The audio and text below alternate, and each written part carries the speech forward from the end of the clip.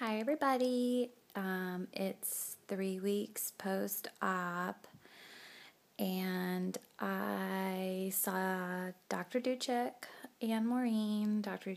I got my stitches out of my head, and I'm going to see him in January for my three month follow up, and we'll just see where I'm at, but we're both pretty hopeful that he finally got all of the bad, icky nerves out of my head. Um, after that appointment, I went right upstairs and saw Maureen, and she, you know, does the full, you know, intense examinations of like my um, pain and, you know, what my restrictions are in my eyes because I'm having. I'm just going to point it out to you because my dad and I have been joking about that I'm going to join the circus, but I'm having a lot of heavy lid on my left eye, and obviously it's because you know Dr. Ducic took three nerves out from you know he went in through my left eye and did three nerves from the forehead and then two nerves on the side, and um, but Maureen did a lot of exam with my eyes and turned the lights off and had me do all these exercises and stuff. And and she said that there's still a lot of swelling that I mean I don't see the swelling but obviously a doctor would see that there's swelling. And Dr. Ducic did say that there's still swelling. So what Maureen explained is that the muscles are so weak still from the surgery. Because I was like I just always feel like I need to have my left eye closed. Like it feels like such hard work to keep my left eye open and you know it's dry but yet it waters and you know that was the eye that the blood was coming out of in post-op that you know so I was really scared that there was going to be a problem because there is a risk when you have the zygomaticular nerve removed with your eyelid. There's a risk that you'll either never be able to open your eyelid again or you'll never have full use but after Maureen did her full exam, she concluded that every my eyelids are opening completely symmetrical and my eyeballs look, you know, exactly the way they're supposed to. I don't have any weird like whatever. And she said that there's no side effects. It's all healing. The muscles are just really weak. So I was very happy to hear that. So now it's just, you know, the waiting game, long recovery, going back to see Maureen in a month. And right now, she told me I'm on like full restrictions. I basically am allowed to go up and down my stairs like two times a day. I can't carry anything, I can't lift anything, I can't like even do laundry. She said even the motions of like bending and folding and but probably but so, you know, um, my dad, um, he just left. Um, so really, yesterday was my three week post op, but I didn't have a chance to do a video because I was spending the last day with my dad, and I already miss him. And um, I have been watching like TV and just being preoccupied so I don't cry. And I know that I'll see him again soon. And he was a huge help. And I had the rocking chair up here and he sat in it every day. And when he was leaving, right before he was leaving, I was like, You need to go put that down in the living room because I, I can't stare at that empty chair. I'll just cry all day, every day.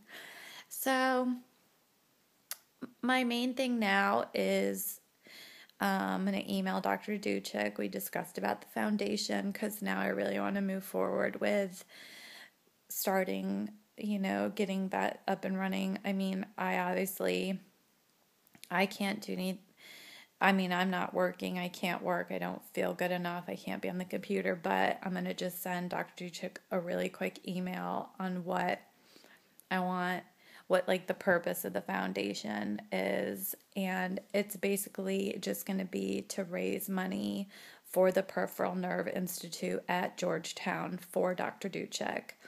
And only for him because i've even seen without even getting into a lot of detail with dr ducic in our discussions, but it's advanced so much just in the two years, well, the 23 months that he did five surgeries on me.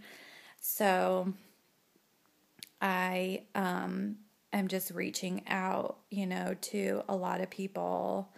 Well, I haven't yet, but I've kind of put like bugs and, you know, little uh, bird, you know, just little I can't talk. I've just, you know, I've opened up to a, a, few people and they're like, okay, well, we need to know when you have that up and running so we can send money.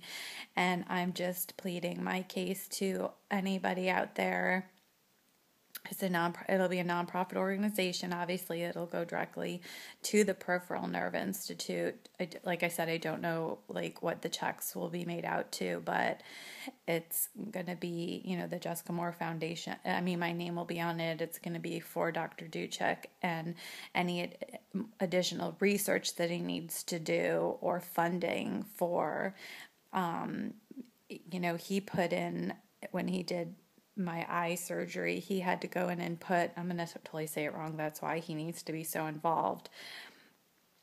And um, I'm only going to do just the, the, oh, you know, help raising awareness of how he saved my, this Nerve Institute, Dr. Ducic saved my life, and then he can do the medical part. But, you know, he put some kind of, you know, connector rods, you know, in the nerve endings.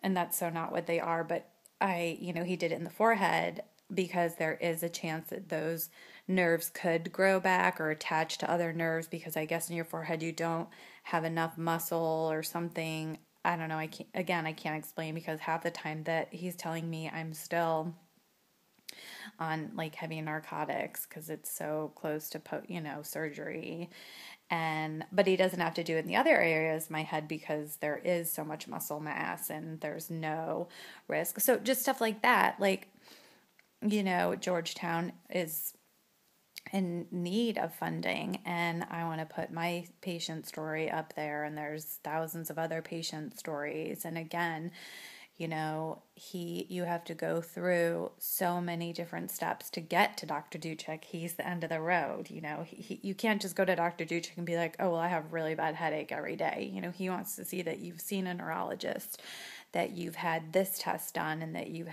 maybe tried medications and that this, this, I mean, he, like I've said before in my other videos, you know, because he won't operate on anybody. He does turn people away and it's it's not, you know, a bad thing. It's because it just shows that, you know, he does this for people that he knows it'll help. He's not just a surgeon that will just throw you on the operating table because, oh, well, you know, it's another surgery he's not doing this to make you know a, be a you know a wealthy you know quadrillionaire. He's such a humble doctor and this is his baby that he started and he just wants to help and continue to make people pain free and I'm really excited because he said in my last appointment that eventually now we'll, you know, I'll be working with my neurologist to slowly wean off my medications.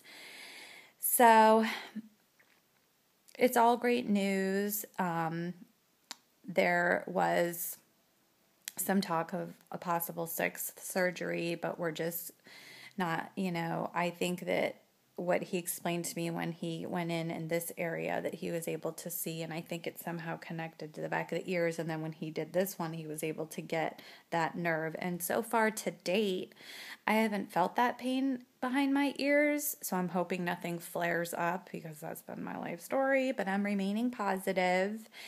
And the way he was explaining to me he was i think he got it. So you know what? Um we'll just see in January, but so far so good. I mean, the pain I have right now is just I still feel like he cut my head open and let everybody in the operating room just, you know, take a good swing at me.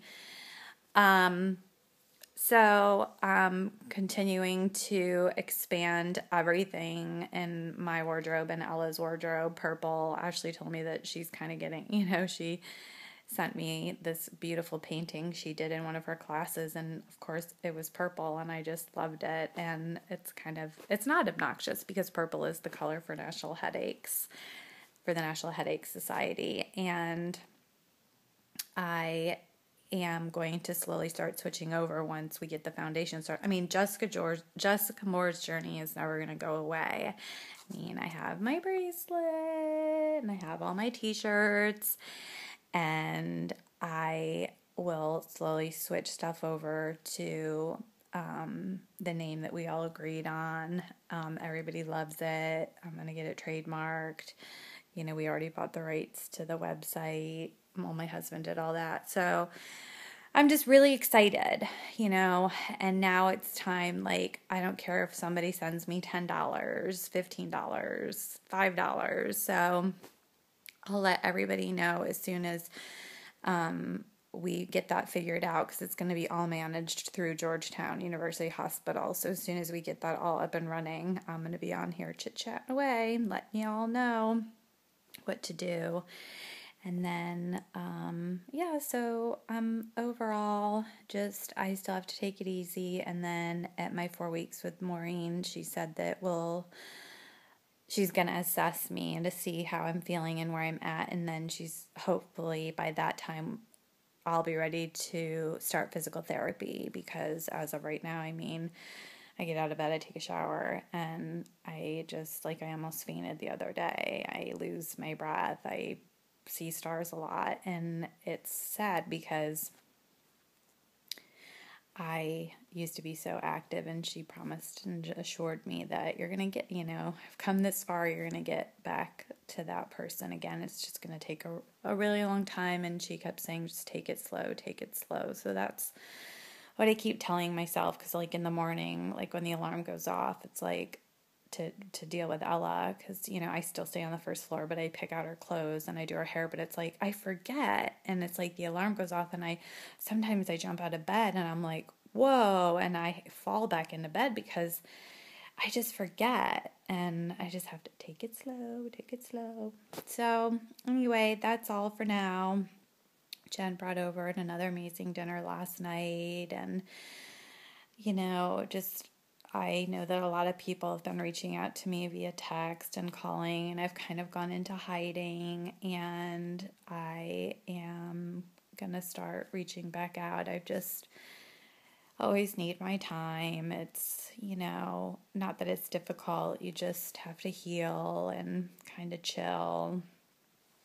So I really appreciate all the love and support from my friends and, you know, my family. And love to you all. Talk to you soon. Bye.